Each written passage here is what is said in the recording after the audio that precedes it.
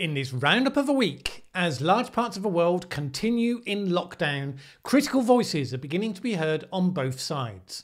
Did we act soon enough? On the one side, have we gone too far? On the other side, we'll discuss both. My name is Mallen Baker. This is the Mallen Baker Show for Changemakers. Welcome once again to the worldwide experiment, the slice of history in the making that is 2020. I hope you're doing well, surviving and thriving as best as you can through these interesting times. Last week, I raised the question of how long the respective systems, particularly of the various democratic nations, would hold discipline to stay under lockdown. Certainly a week longer, as we've seen. And so far, there aren't too many signs of countries at risk of the social consensus in favour of action collapsing just yet. It's the sort of thing that may happen over months rather than weeks. But one thing we have seen is that voices are starting to be raised to question the mainstream strategy being followed by the worst affected countries. Lots of people aren't happy about that. There's a wartime spirit that says that when you're in the midst of a crisis, you don't criticise. You get on and do what the country has to do. All the analysis and reflection can follow later when the danger is past. But as several commentators have pointed out, this may be a crisis, but it's not actually wartime.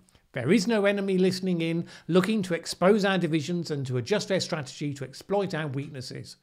And accordingly, while we consent to extraordinary measures we otherwise wouldn't go along with, it should not be held to be disloyal or unhelpful to ask some hard questions and to seek to hold governments accountable for their actions. Unless you live in Hungary, of course. Because in Hungary, the Prime Minister Viktor Orban has done away with all that democratic accountability and now has time unlimited power to rule by decree. He can jail anyone deemed to be spreading misinformation. What could possibly go wrong? And unsurprisingly, no one is much predicting that a rapid handing back of those powers is going to take place after the epidemic is over. So far, the European Union, suddenly waking up to news of actual dictatorship in their ranks, is responding in a remarkably feeble way.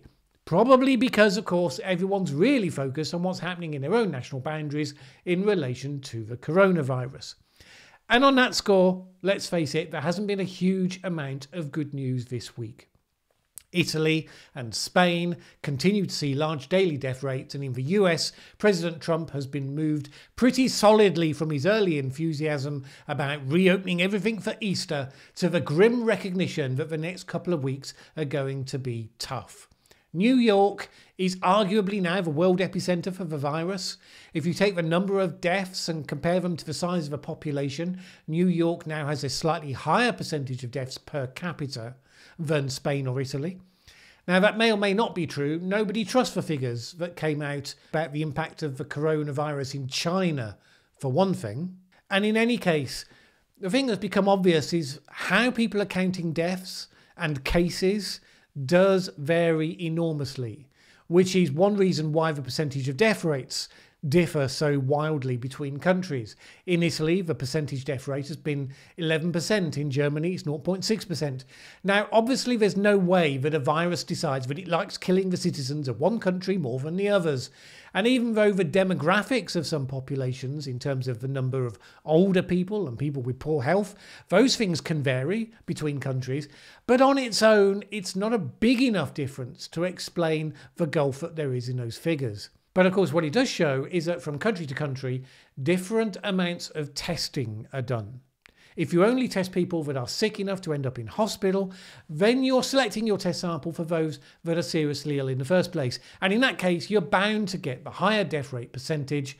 Whereas if you do more widespread and random testing, then you get a lot of people who have only mild symptoms or who are completely asymptomatic, and that will naturally give you a lower percentage. Nobody's doing what you would have to do to get a real picture of what percentage of people die from this disease, because to do that, you would need to test a statistically representative sample of randomly selected citizens to learn what percentage of them have the virus and have died from it. Even countries that have more testing capability, such as Germany, have not been doing that. because they have a limit to the amount of testing they can do. And not unreasonably, they're focusing that on where it will have the most practical value. Now, having said all that, Iceland have said that it will now begin to test all its citizens, which it probably can do because its entire population is so small, around 340,000, and maybe that will give us then some interesting and useful information. The lack of current data is giving space for some to question whether global society might be massively out of whack in its belief about the virulence of the disease. A handful of people have been arguing that if you look at certain evidence, it's not killing any more people than the annual flu, and therefore we're shutting down all of our societies and doing immense damage to people by completely sabotaging the economy without sufficient cause. Intuitively, you have to look at the situations in Italy, in Spain, in New York, as well as elsewhere, and say, that's surely completely wrong. After all, we're seeing hospitals overwhelmed by cases, requirements for thousands of additional ventilators, countries like the UK creating large new makeshift emergency hospitals to cope with thousands of patients above what the existing capacity can support. We're seeing doctors, nurses, and other frontline staff getting sick in reasonably large numbers, some of them dying.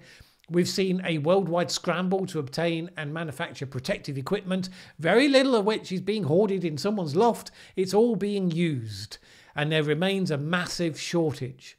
And we're seeing people we know get sick. Almost never does annual flu hit any of my circle of friends, but I've had three people I know sick with it in the last couple of weeks, and yesterday, sadly, another friend lost his father to the virus. And you can add to that the growing toll of the more famous names that we've seen. Now, you can dismiss all that bit as being anecdotal. And of course, it is. But it's definitely not business as usual.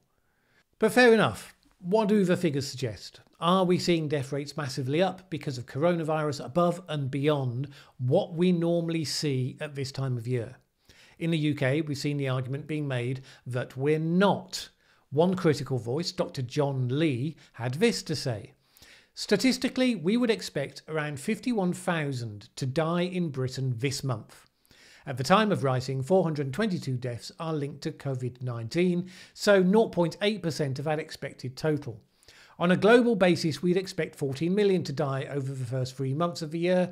The world's 18,944 coronavirus deaths represents 0.14% of that total. These figures might shoot up, but they are right now lower than other infectious diseases that we live with, such as flu not figures that would in and of themselves cause drastic global reactions. He suggested that one of the reasons for the gulf between the statistics and the reality on the ground comes down to how the deaths are recorded. The majority of deaths have come from people who have underlying conditions. But generally, people in that situation end up with several problems at once when they die. And the thing that actually kills them may be the flu or other seasonal infections, but we don't test for those. We attribute the death to the underlying condition. Therefore, in this version, what we're really seeing is that because coronavirus is highly infectious, and there's no question about that, most of its impact is to seek out those who are likely to have died anyway and hasten them on their way in a way that gets recorded as a coronavirus death rather than a death due to cancer or heart failure or whatever it might have been. People that would have died quietly in a different ward, surrounded by their grieving family, are instead ending up on a ventilator in a special ward that the whole world is watching to see what's going on. Of course, some perfectly healthy and robust people are sadly being caught in this as well, but statistically, you have to be really unlucky to get that bullet. With the figures that Dr. Lee gave, that is a powerful argument. However, this is a rapidly unfolding situation, and although we love jumping to early conclusions and deciding that it means that we know more than all the apparent experts running around, nobody knows any of this for sure. Seriously. If anyone tells you they definitely know what's going on, they're either lying to you or they're deluding themselves. The data is either not there or not yet reliable, which is why governments have to make the best decisions they can based on what they have. So, for instance, Contrary to Dr. Lee's view, there's this piece of information sourced from an Economist article, which is behind a paywall, unfortunately. But it purports to show that, in actual fact, if you look at certain places in Spain, the actual death rate is significantly higher than both the background normal plus additional numbers attributable to COVID 19. The message from that data is that it seems likely that lots of deaths where COVID 19 has been a factor aren't being added yet to the headline statistics at all. Now, it's worth noting that both of these come from specific locations within Spain. I'm not sure that they represent a large enough sample size to have rogue factors affecting the apparent results, but it's a perfect illustration of the nature of the uncertainty. Another case in point is the fact that the figures for deaths for France had an astonishingly high one day leap yesterday. The sort of leap that would make you start digging to discover what on earth happened. And you find out that what actually happened wasn't that a whole bunch of people suddenly died yesterday. It was that deaths over the last couple of weeks that had taken place in nursing homes had not been included in the overall death total. And now, realizing that figures were therefore too low and had been for some time, they have been added to the figures in all in one go. And it just underlines the quality of the data isn't good enough to jump to conclusions just yet. But nevertheless, the question is being asked have we gone too far? How much different would it have been in terms of the outcome if we'd isolated those in vulnerable categories, which is a significant slice of people, don't forget, and encouraged everyone else to carry on with their lives, but with some new standards of behaviour for what you might describe as light social distancing? And some people have responded to that suggestion by saying, but more people would surely have died that way. And even if it's just a few people, the unlucky, healthy people who do badly, then every life matters. The people asking the question have two different responses to that. The one that most of them agree on is that the argument that societal lockdown is going to kill a whole bunch of people as well. Dr. Lee again. The moral debate is not lives versus money, it is lives versus lives. It will take months, perhaps years, if ever, before we can assess the wider implications of what we're doing. The damage to children's education, the excess suicides, the increase in mental health problems, the taking away of resources from other health problems that we were dealing with effectively. Those who need medical help now, but won't seek it or might not be offered it and what about the effects on food production and global commerce that will have unquantifiable consequences for people of all ages, perhaps especially in developing economies? The difference is that on a daily basis, we see the statistics for those who died of coronavirus. But those other deaths are in the future, and therefore, right now, pretty much invisible. Who knows under which scenario we would see the most suffering and death? And the honest answer is we don't know.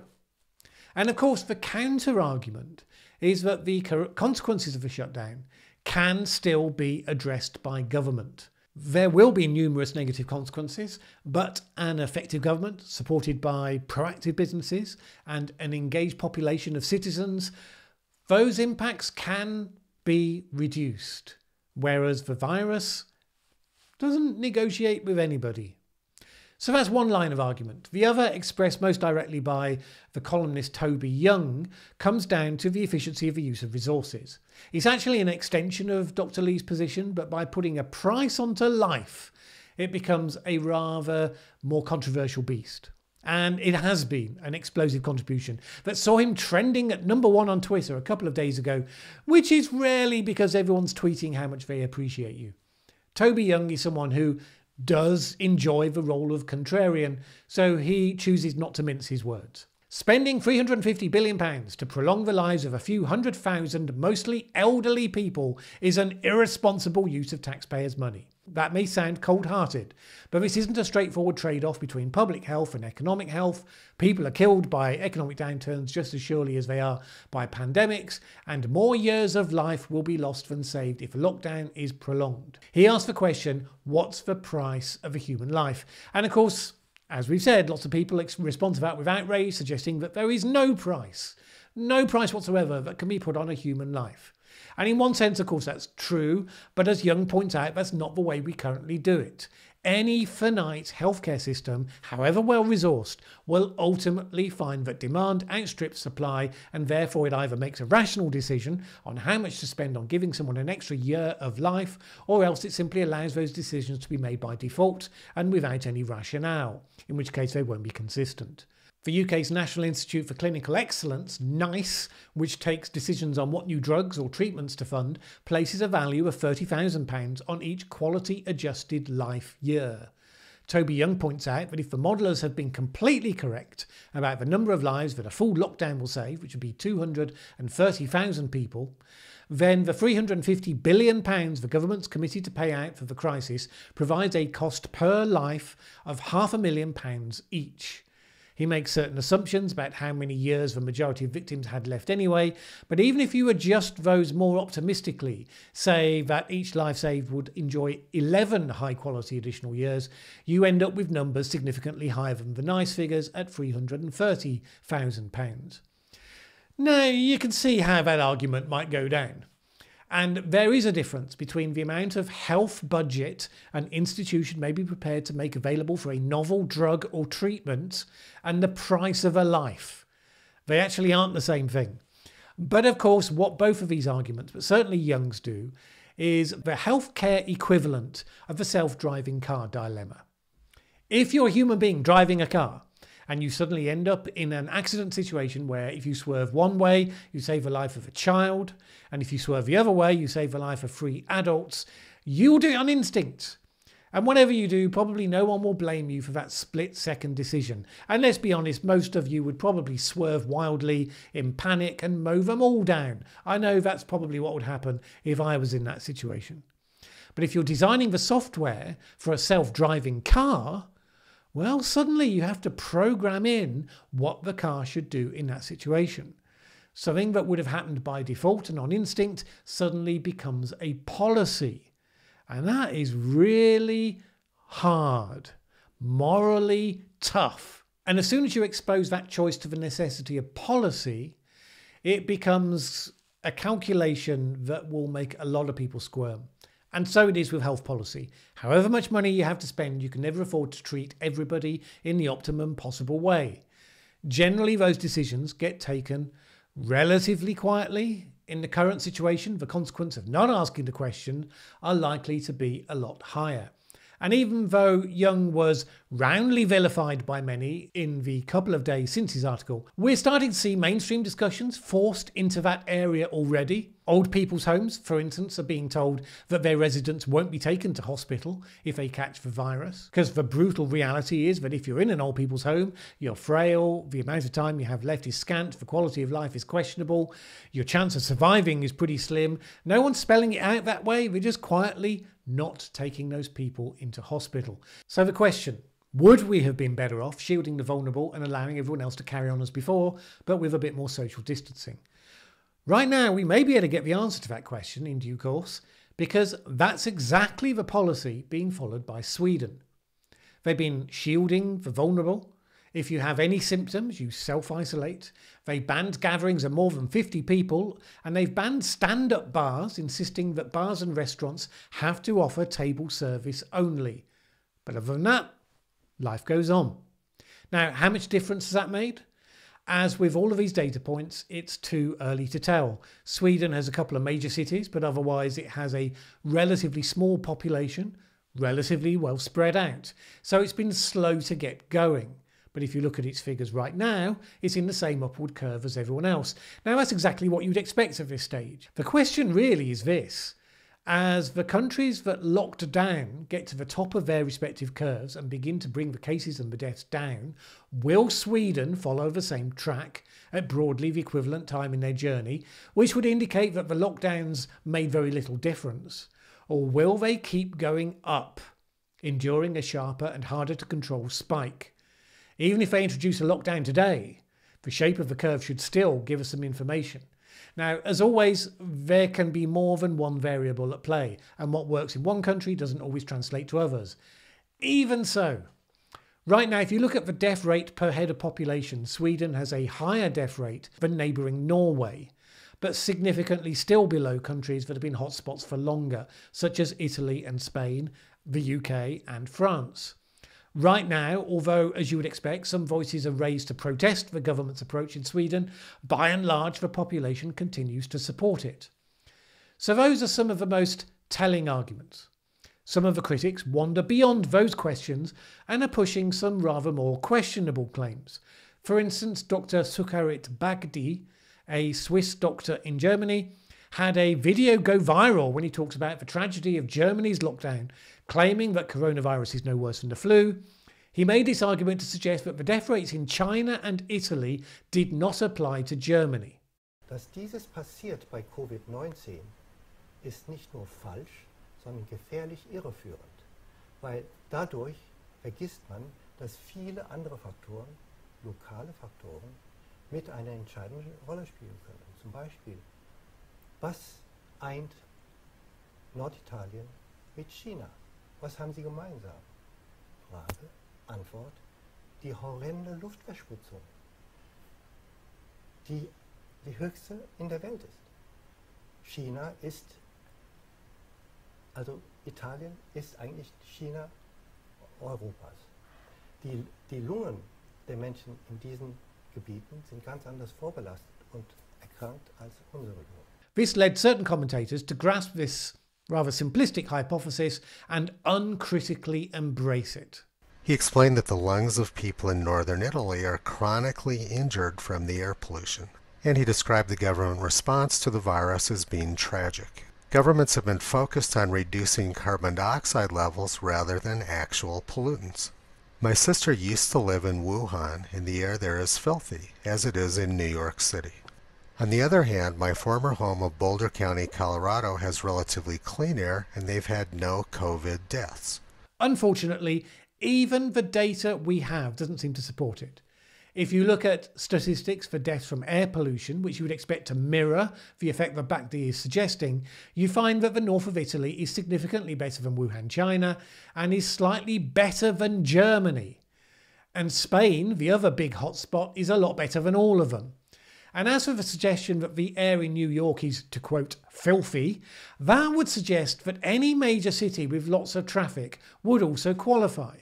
Well, every country has a major city with lots of traffic, so it becomes a meaningless distinction. So far, there's no observable correlation with air quality and deaths. There is correlation between population density and catching the disease at all, which is rather more the point why Boulder, Colorado might not have had deaths at the time of that video, although it's had a few since. If you've watched such videos and as a result decided it's just fine to go about your business, regardless of what the local authorities say, I would just think again. Don't let someone else's slack attention to detail and desire to be the contrarian voice be the thing that gets you to take risks that may put the people you care about in danger. So those are the skeptics on one side. They're the more interesting arguments, which is why I've spent the most time on them. Inevitably, there are those on the other side, criticising their governments for having moved far too slowly and hence having put their people at risk. Richard Horton the somewhat radical editor of The Lancet, has been typical of the critics of Boris Johnson's government in the UK. The UK government's contain, delay, mitigate research strategy failed. It failed in part because ministers didn't follow World Health Organization's advice to test, test, test every suspected case. They didn't isolate and quarantine. They didn't contact trace. These basic principles of public health and infectious disease control were ignored for reasons that remain opaque. There are two things here. One is the we all knew this was coming long ago and the government did nothing. So criticising a slow start. And then the second one is simply what's being done isn't being done well enough. The first one's the most widespread, and for me, it's the one that's easiest to make, but almost never do those making it stand up to scrutiny in terms of their own foresight. We can all do it in hindsight. In fact, as I've said before, whenever you get a single initiative that was good you can always criticise it with the comment, should have been done sooner. It's completely unfalsifiable, only of value if there are forces pushing for earlier activity within the system and the system failed to work as it should, which is not the case here. And let's take Richard Horton, editor of The Lancet, as a case in point. He argued that it was quite clear back at the end of January that things were going this particular way and that the government had therefore been criminally incompetent not to be taking action. But that's not what he was actually saying at the time. On January the 24th, he tweeted this A call for caution, please. Media are escalating anxiety by talking of a killer virus and growing fears.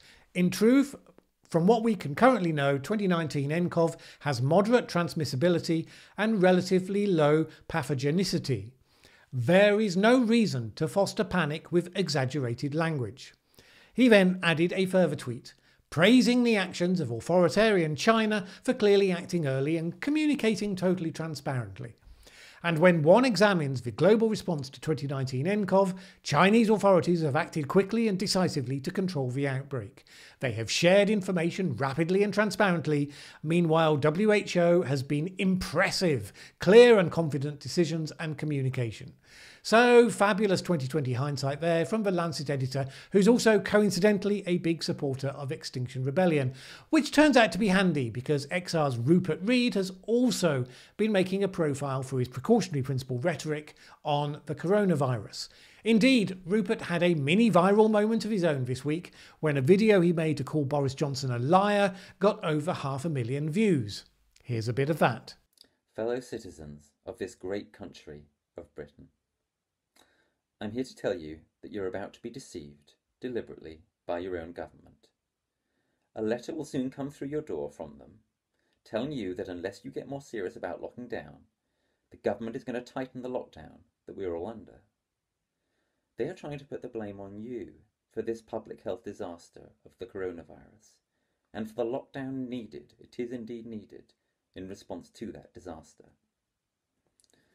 In the letter, Prime Minister Johnson says, quote, From the start, we, the government, have sought to put in the right measures at the right time. The truth is very different. The truth is that the government have for two months systematically flouted World Health Organization advice on how to deal with this pandemic, and that in some respects they are still doing so now. My name is Dr. Rupert Read. A few weeks ago, I coordinated a letter, a version of which was published in the Daily Mail. It was signed by the editor of Britain's foremost medical journal, The Lancet, and by the former chair of the House of Commons Science Select Committee. Now, the government should have acted well before receiving our letter. They should have moved already to stop flights coming in from Italy and China. Quite a few of the people who saw that seemed to get confused and thought that Dr. Rupert Read was a medical doctor. And the fact that the first thing he mentions is his joint letter with the editor of The Lancet didn't exactly dispel that misconception. Which may be why it went viral. I mean, a medical doctor saying your government is lying to you is obviously a lot more powerful than an Extinction Rebellion spokesman with a degree in philosophy saying it. But that may be my own cognitive bias kicking in there. It is a powerfully worded video. It could well be it just went viral on its own merits. So credit to him for spreading his message. Although he should add a note making it clear he's not a medical doctor. Ultimately, the argument that says that Johnson is blaming the British people for the lockdown is simply made up. He is saying nothing of the sort. It would be politically stupid for him to say such a thing, and whatever he is, opinions vary, he's not that. There are arguments to say that the government is not executing as well as it should do. And if you look at the situation that there's been on the promises of increased testing and the problems they've had actually increasing testing because of shortages in materials and so on, clearly there have been some problems in execution. And that is perfectly fair comment to criticise. Frankly, when we look at the incredible work that people are doing on the front line, any failings of government to do what they say they're going to do and support them are perfectly valid for criticism. The arguments in the UK mirror, of course, those in the US. Because of Trump's style, he gave rather more hostages to fortune with his various statements in the early days about how under control everything was and how nobody need worry about anything and how Easter would be a beautiful time when everyone could go to church together. Ultimately, the US problem is going to come less from Trump's lateness to the party than it is from the relative separateness of the states. So some have locked down, others have not. Some are taking it massively seriously, others, hmm, well, to some degree, less so. Arguably, while Europe has much diversity across its nations and everyone looks to the nations that are doing well and the ones that aren't, the US has similar diversity in many ways across the states, but is nevertheless treated as one country. So while New York may have hit the top of a particularly horrible curve, the rest of the country may well remain some way behind. The process of catching up probably means the curve of the US overall as a whole entity will continue to look horrible for longer than you have seen elsewhere. And that's going to be rather important in an election year.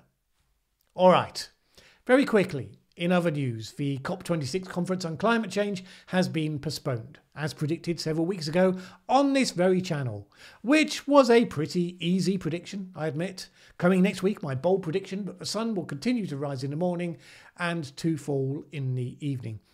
The postponement's just as well, because the early news coming in to the process wasn't exactly great.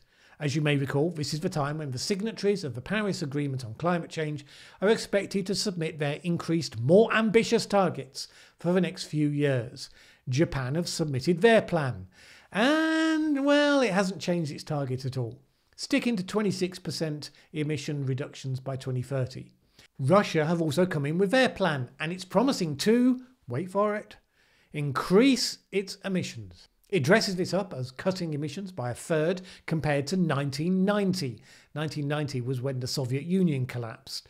So it's as cynical an exercise you could get, choosing the absolute peak of historical emissions and using that as your starting point. Vladimir Putin is obviously a mean hombre who takes his shirt off a lot, not the kind that nice teenager Swedish girl should be going anywhere near. As I've said numerous times now, the realpolitik of global politics means that countries like China and India would be unlikely to commit to bigger cuts without some sort of a deal to make it worth their while and they probably want to hold out anyway until the US election. So the delay may at least remove that one factor from the equation.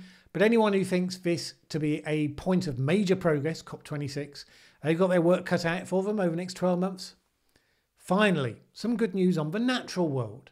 This week we learned that we're seeing more ways to improve the health of the oceans. There's been a major recovery of the humpback whales and other sea life over recent years. Save the Whale was one of the iconic environmental campaigns when I was a younger man. Not one that I can take any credit for. But, well, they saved them. Well, for now, anyway. They were down to a few hundred in 1968, and they've increased by 10% per year since hunting them was banned, and now they're at more than 40,000. Grey whales have gone from 4,000 in 1949 to 20,000, and blue whales from a mere 1,000 in the 1950s to around between 10 to 20,000 today.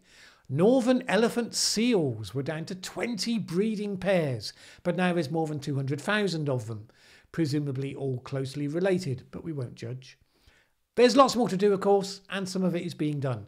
And in the UK, we're also seeing a revival of some of the birds that had declined somewhat in recent past. Sparrows, goldfinches, wrens, long-tailed tits, coal tits, all of them on the up. I feed the birds in my garden, and I see all of those varieties, amongst others, so that makes me happy. I hope you find lots of things to make you happy this week. My name's Mallen Baker. This is The Mallen Baker Show.